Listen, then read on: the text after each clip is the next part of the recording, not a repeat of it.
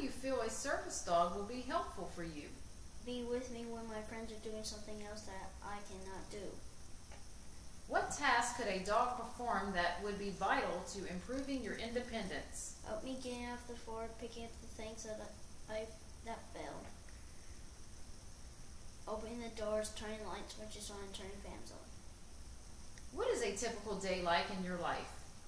Waking up at 6.30, going to school, going to bed at 8.30.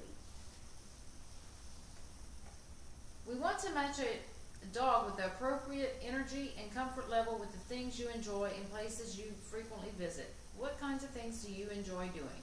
Playing video games, swimming, playing with friends. On a weekly basis, how often do you leave your home?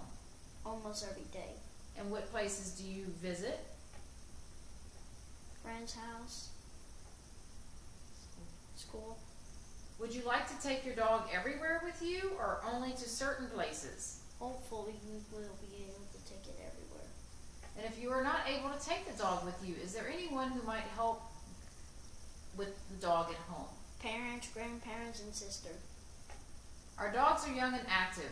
Please let us know how you plan to exercise your dog. What?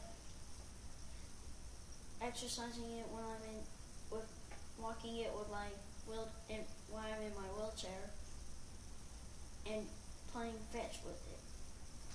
How would you handle a potty accident your service dog has? My parents and grandparents would help with that.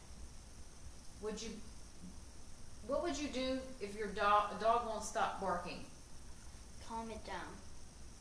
Under what circumstances would you return your service dog to Canine Assistants? No reasons really. Bringing a service dog with you oh, who will be most involved in helping you with your service dog? My parents and grandparents and sister. And will they who will attend the two week camp with you? Mom. Okay.